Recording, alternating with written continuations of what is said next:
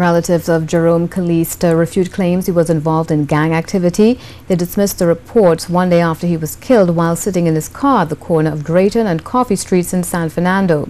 Here again is Ian Wason. Jerome Calliste was a family man, a man who loved his four children and was not involved in any gangs. So say relatives who, when they heard reports that his death on Sunday was related to a recent shooting and could have been gang-related, they were surprised.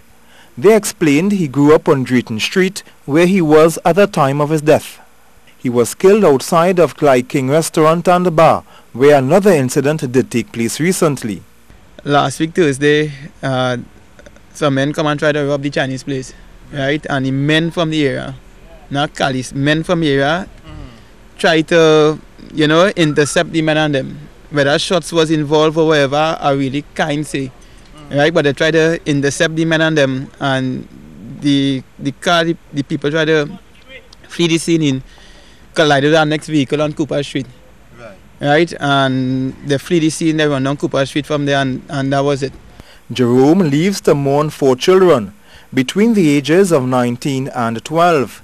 He worked with the San Fernando City Corporation. It's the people and them who put on the robbery fine that that should not take place and come back that kind of thing. But there's people from the area too who probably do like him, put things in place for that because they know where to find him, they know where he has been, they know the car he has been. Yeah. Them had to get that information from people who know it. Relatives said, like normal schoolboys growing up, they were minor incidents but nothing serious.